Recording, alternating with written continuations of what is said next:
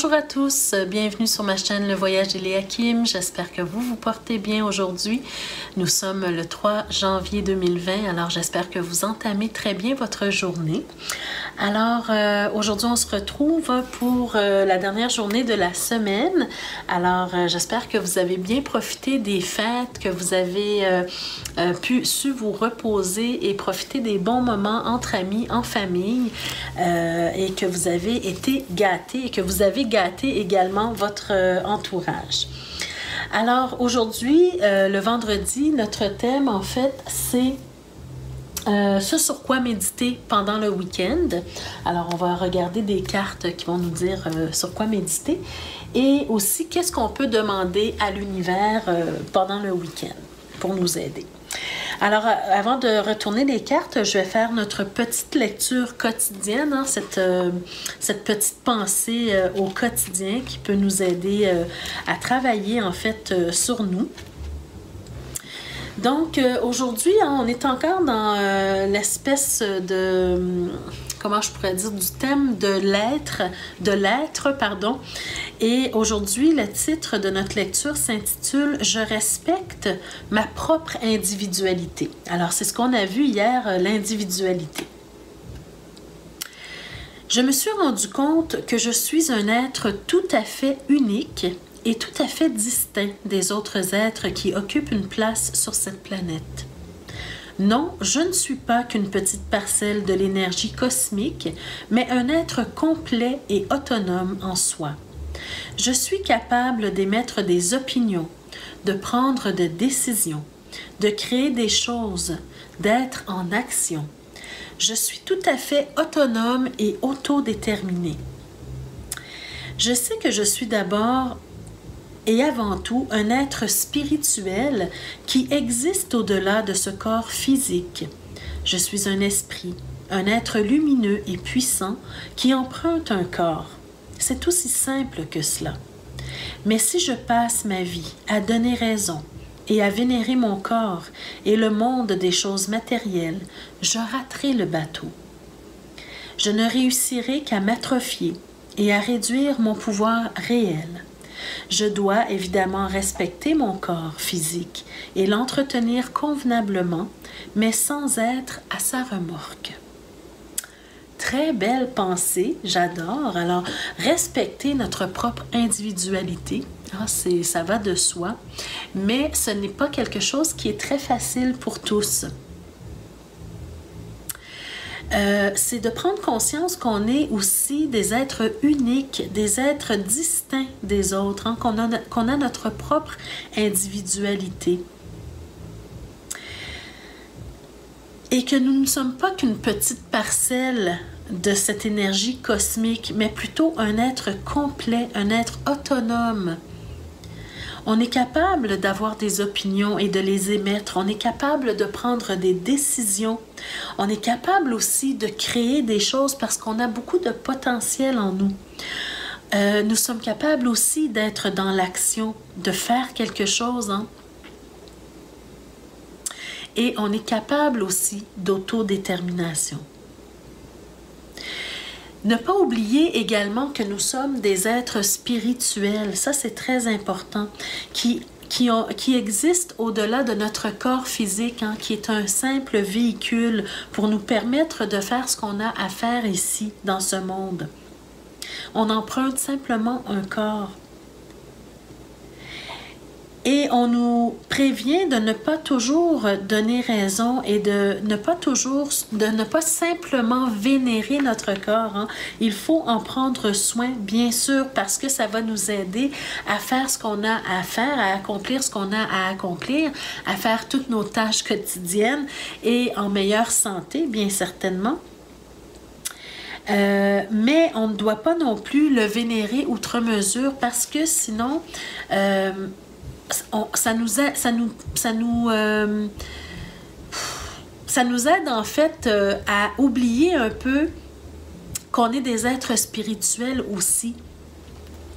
Alors c'est important de toujours garder ça en tête, que nous sommes des êtres spirituels et qu'on doit non seulement bien nourrir notre corps physique, mais aussi de nourrir notre esprit.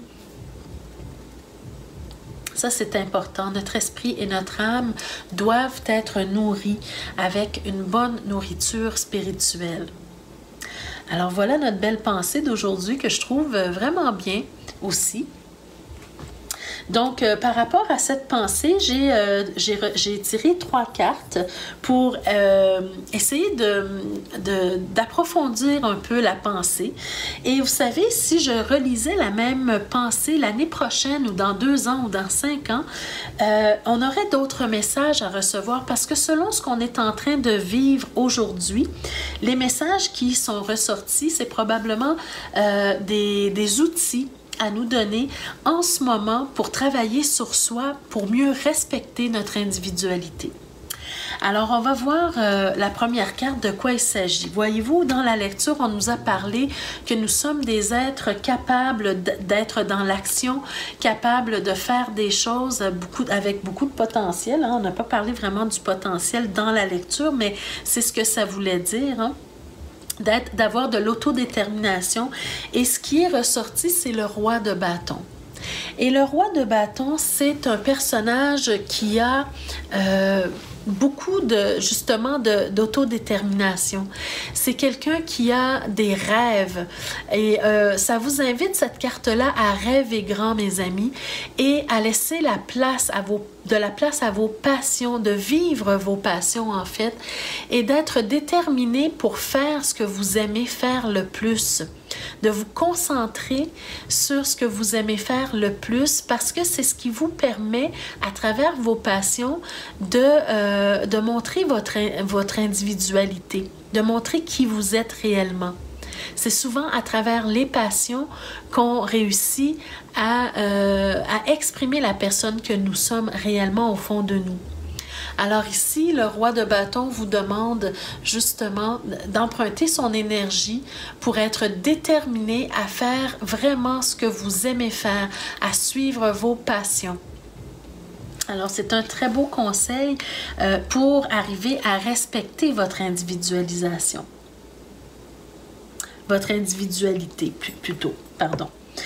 La deuxième carte qu'on a reçue, c'est la carte du 4 de coupe.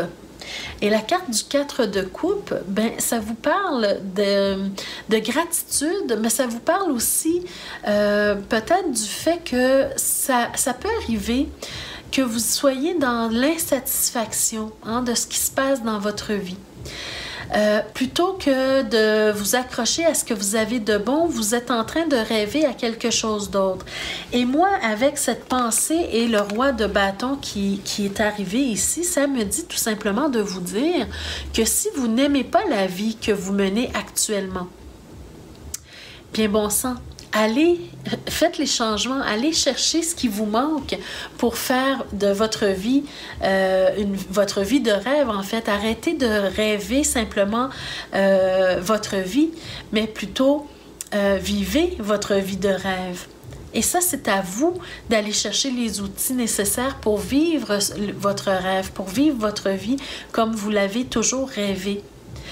Alors, c'est souvent, euh, ça peut être quelqu'un qui, euh, qui est en train de, euh, de se plaindre, en fait, toujours de, de son mécontentement, de se plaindre en fait de la vie qu'il ou elle vit actuellement, de se plaindre de ne pas avoir assez, de se plaindre de ne pas faire ce qu'il ou ce qu'elle veut. Alors, votre passion ou vos passions, c'est à vous de faire en sorte d'être capable de les vivre. Alors cessez de rêver votre vie, passez à l'action, soyez déterminé pour ce que vous voulez et euh, vivez vos rêves ou vivez votre vie de rêve plutôt. Alors ça, c'est un deuxième outil.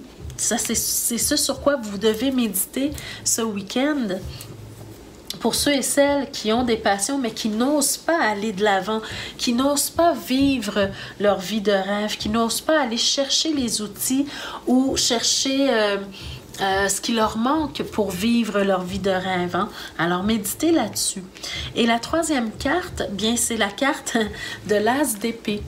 Et la carte de l'as d'épée, je vous dis souvent hein, que tous les as sont des cadeaux de la vie. Alors, l'as d'épée, c'est le cadeau de, euh, de la communication et de l'intelligence. Et moi, dans ce tirage, pour moi, ça, ça, nous dit tout simplement de trancher, de prendre des décisions pour votre vie, parce que votre vie vous appartient.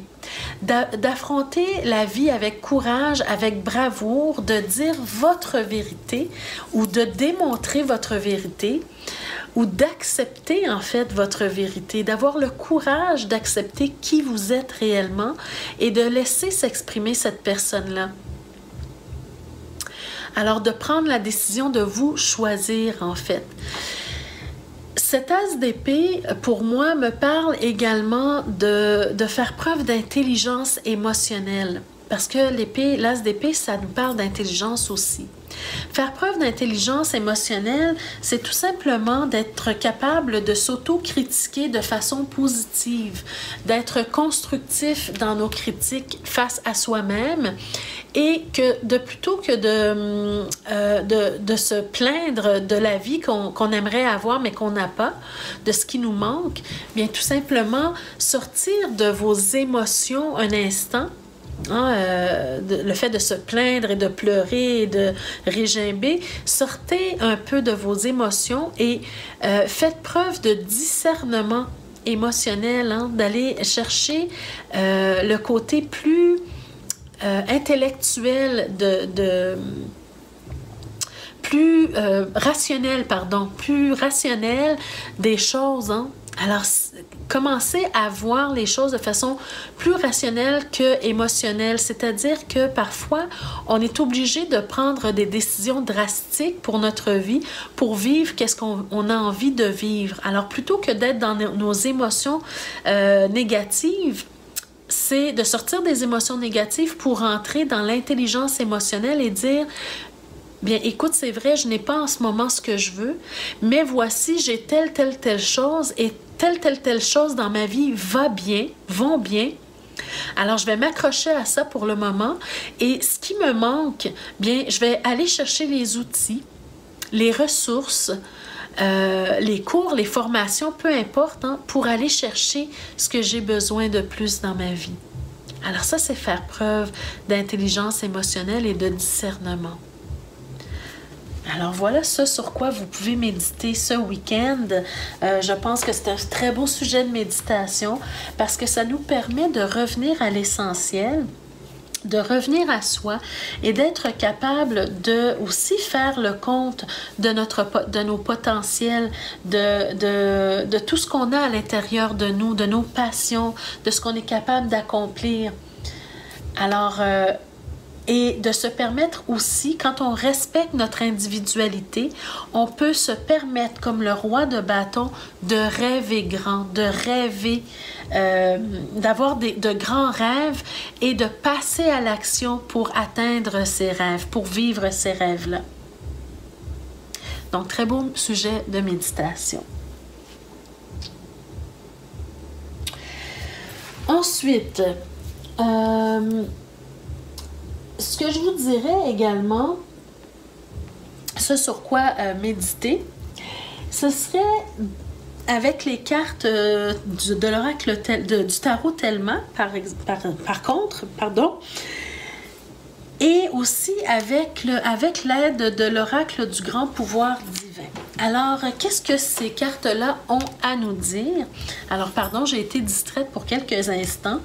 Donc, l'oracle du grand pouvoir divin, euh, la carte qui est ressortie. Donc, ça aussi, ce sont des sujets de méditation.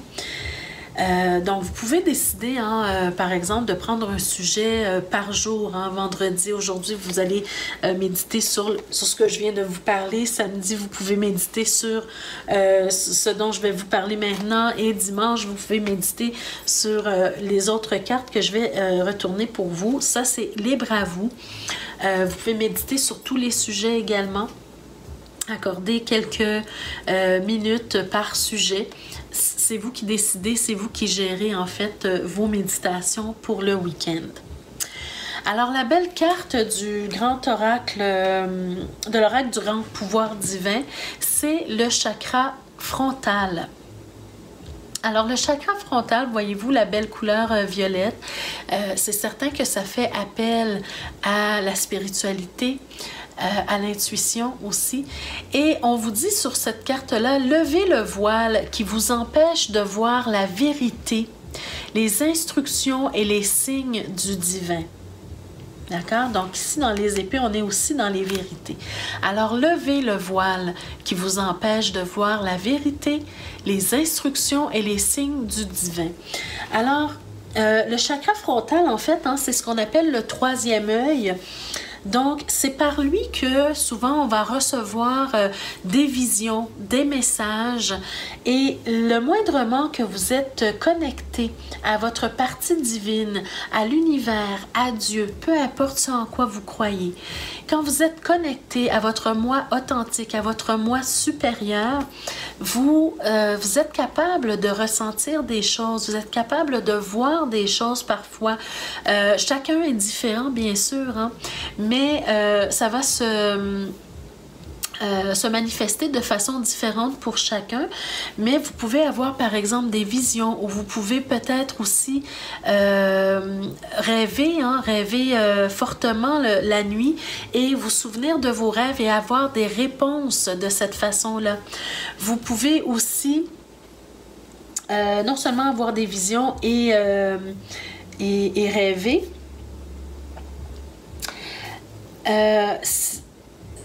en, état d'éveil, vous pouvez recevoir des messages aussi tout simplement euh, euh, quand vous fixez un point et que euh, vous êtes tellement concentré sur le point que vous êtes en train de fixer que vous oubliez un peu l'espace dans lequel vous êtes et de cette façon vous recevez des messages. Alors j'ai déjà vécu ce genre d'expérience hein, de faire des rêves éveillés et d'avoir l'impression que deux minutes, quand on revient à soi, d'avoir l'impression que deux minutes se sont écoulées, mais en fait ça fait déjà deux heures qui sont passées. Alors, c'est un genre d'expérience hein, qu'on peut, qu'on peut vivre.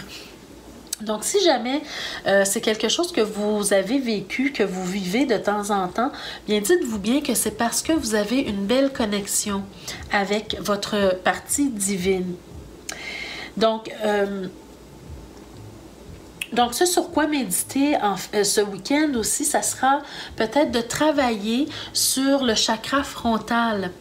Euh, et ça, c'est quelque chose qui ne vient pas du jour au lendemain. Il y a des exercices que vous pouvez trouver. Vous pouvez aller chercher un peu sur Internet, en faire des recherches sur le chakra frontal, mais il y a des exercices que vous pouvez faire pour développer votre intuition, pour développer euh, euh, vos capacités de certaines choses. Hein.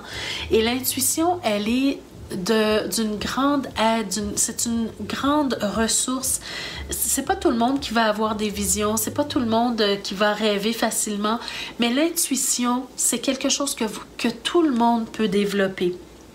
Alors, quand euh, vous, savez, parfois vous avez été sauvé, disons, entre guillemets, par la peau des fesses à bien des reprises, bien, euh, c'est parce que vous avez eu de l'intuition. Alors, accordez une grande place à, euh, à, ces interventions divines. J'appelle ça des interventions divines parce que euh, c'est votre connexion à votre partie divine qui fait en sorte hein, que euh, vous, êtes capable de recevoir ces messages-là. Les cartes euh, complémentaires à l'oracle du grand pouvoir divin, et c'est pas étonnant, on a reçu la grande prêtresse. Alors, la grande prêtresse, hein, c'est le personnage, euh, justement, dans le tarot, qui reçoit l'information divine, qui, euh, qui garde les secrets divins hein, euh, de façon sacrée, qui reçoit beaucoup d'informations du ciel, hein, du ciel ou bien de, de l'univers, peu importe comment vous, vous voyez les choses, mais la grande prêtresse, c'est elle qui va garder euh, qui va garder les grands secrets, euh, les grands secrets divins. Et souvent, on la voit avec, euh, ici, on la voit avec un parchemin, mais dans d'autres tarots, on la voit souvent, surtout dans le tarot de Marseille, avec un livre ouvert hein, sur ses genoux. Alors, c'est un personnage qui est dans l'observation, qui est passif, mais qui est dans l'observation, donc qui va beaucoup, beaucoup, beaucoup observer son environnement, qui va s'arrêter aussi pour recevoir et comprendre les secrets divins et qui va bien les garder. euh, qui va parfois les partager si elle le veut, bien sûr, mais euh, c'est vraiment quelqu'un qui reçoit qui reçoit euh, euh, les informations divines. D'accord? Alors, essayez d'intégrer l'énergie de la grande prêtresse. Euh, essayez de faire peut-être de la visualisation ce week-end pour voir comment vous pourriez développer votre troisième œil, votre chakra frontal pour recevoir certains messages. Et la troisième carte qui allait avec, alors ça nous, moi, pour moi, euh, c'est le 6 de denier, le 6 de pentacle. Et ce que je trouve merveilleux avec cette carte-là, c'est que cette carte-là, elle nous parle entre autres du donner et du recevoir. Alors pour moi, dans ce tirage précis, ça nous parle d'échange. Alors, de connexion et d'échange, vous donnez, euh, vous apportez beaucoup à l'univers et grâce à ce que vous apportez, grâce à, votre participation, disons, à l'univers, hein, l'univers vous envoie aussi beaucoup de choses euh, vers vous envoie beaucoup de choses vers vous. Alors, c'est un échange. Voyez-vous ici, vous êtes, euh, on voit des mains ouvertes et on voit une main qui, euh, qui donne des deniers. Alors, si on est très terre à terre avec cette carte-là, on peut parler euh, d'être euh, capable d'ouverture pour donner à notre prochain et qu'un jour, peut-être que si vous, vous êtes dans le besoin, vous allez en recevoir aussi. Mais euh, au niveau spirituel, parce que c'est dans ce domaine-là qu'on est présentement, ça nous parle d'échange entre le divin et nous-mêmes. Alors, de méditer en fait sur l'apport que vous pouvez donner au monde et euh, à toutes les fois, euh, comptez un peu les fois où vous avez reçu euh, quelque chose de l'univers, hein, parce que souvent, on n'est pas capable, on n'arrive pas à s'arrêter pour réfléchir justement à tout ce qu'on a reçu de l'univers. Et je pense que c'est une belle méditation à avoir, hein, s'arrêter un instant pour voir toutes les bénédictions qu'on a reçues de l'univers, tous les messages euh, de protection, par exemple, qu'on a reçus de l'univers, tous les messages... Euh, euh, qui, nous, qui avait le but de, euh, de, de nous aider, de nous éclairer pour prendre une meilleure décision, par exemple. Alors, tout ça, il faut s'arrêter pour euh, remercier d'abord et avant tout pour ce privilège qu'on a d'être en connexion avec l'univers, avec Dieu, avec notre moi supérieur remercier pour ça, remercier de, de, l'union, de, de, du lien qu'on peut avoir avec quelque chose de plus grand que nous. Sans oublier que nous sommes grands également. Alors voilà de beaux sujets de méditation pour euh, le week-end. Maintenant, avec euh, le tarot Oracle Umrazai, euh, j'aimerais tourner cette carte pour savoir qu'est-ce qu'on peut demander justement à l'univers ce week-end et je trouve que c'est une carte magnifique. C'est la carte L'œuvre au noir. Alors, la carte L'œuvre au noir, hein, pour moi, j'ai, j'ai, jamais vraiment lu le livre euh, qui venait avec. Je, l'ai feuilleté, je le trouve magnifique parce qu'il y a de très, très belles couleurs à l'intérieur de ce livre-là. Et ça me donne le goût de le lire euh, vraiment comme un livre d'histoire. Mais euh, je me suis plutôt avec cet oracle, ce tarot oracle-là. d'ailleurs, un petit clin d'œil à Marie-Christine Chambon parce que son œuvre, elle est magnifique. Je trouve que ses cartes sont extraordinaire et qu'elle parle beaucoup. Alors, euh, donc, merci beaucoup, Marie-Christine, pour cette belle, euh, cette œuvre que tu as voulu euh, partager avec nous. Alors, ici, l'œuvre au noir, hein, je le vois, je vois toujours cette image-là comme un peu quelqu'un qui est en, qui est en, qui est dans une matrice en train de comment je pourrais dire, qui est en pleine gestation et qui va bientôt euh, accoucher. En fait, euh, la matrice va accoucher de cet être-là qui, qui, qui, nous représente, en fait. On est en train de se préparer. Et l'œuvre au noir, en fait, représente dans le tarot traditionnel la carte de l'arcane sans nom, la carte de la mort. Et la carte de l'arcane sans nom, c'est la carte de la transformation. C'est le processus de guérison qu'on accepte euh, de commencer pour pouvoir euh, éliminer de notre vie ce, qui ne nous convient plus, ce qui ne nous fait plus du bien, ce qui ne nous permet pas de nous transformer adéquatement. Alors, pour, accepter le processus de guérison, ou pour entamer plutôt le processus de guérison, on doit laisser partir des choses, on doit faire du nettoyage, on doit euh, éliminer de notre vie ce qui ne nous convient plus. On doit euh, trancher, retrancher des choses de notre vie qui, nous, qui sont comme des boulets et qui nous empêchent de continuer, d'avancer. Et sur cette carte, on vous dit, quand le passé est guéri, le présent ne blesse plus. Alors quand on, entame un processus de guérison, bien notre présent, on ne souffre plus dans le présent parce qu'on a guéri euh, notre passé. Ça ne veut pas dire de rester accroché au passé, ça veut, ça veut tout simplement dire de prendre soin de nos blessures du passé pour pouvoir renaître à nous-mêmes et de façon euh, euh, en santé, en fait, dans une meilleure santé émotionnelle et même physique également. Alors, qu'est-ce qu'on peut demander à l'univers? Bien, c'est de nous aider à trouver le chemin vers la guérison, le chemin vers ce processus de guérison. Comment faire? Comment faire où trouver les ressources pour nous aider, ou bien tout simplement avec la connexion que nous avons euh, à notre moi supérieur, à l'univers ou à Dieu, comment faire euh, pour pour entamer ce processus de guérison qui est tellement nécessaire pour notre avancement et pour notre bien-être. Alors voilà ce qu'on peut demander, ce qu'on peut demander à l'univers. Et finalement, pour euh, terminer avec euh, ce tirage, euh, bien, j'ai encore pigé une carte de, de l'oracle Self-Coaching Kit de Wassima. Alors, elle aussi, hein, j'apprécie énormément son, son, son, oracle parce que ça nous permet en fait de... ça nous donne un peu des devoirs, si je peux dire ça, mais des devoirs qu'on a envie de faire. en fait. Alors, euh, c'est une petite pensée pour teinter votre journée. Qu'est-ce que vous pourriez faire pour améliorer votre journée aujourd'hui? ou bien ce week-end, hein, parce que nous sommes rendus le week-end.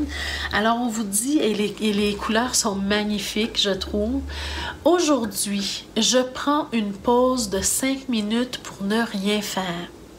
Alors, vous allez me dire, ben c'est sûr, hein, on est le week-end, alors je travaille pas le week-end euh, euh, à l'extérieur et tout. Et c'est vrai, on ne travaille pas à l'extérieur le week-end pour la plupart d'entre nous, mais on travaille toujours à l'intérieur. On a toujours quelque chose à faire euh, à la maison. On a les repas à préparer. Si on a des enfants, on a les bains à donner, on a les dents à brosser, on a les devoirs à faire faire, on a le lavage, le ménage, on a plein de tâches, laver euh, la voiture, nettoyer le garage, peu importe. Hein.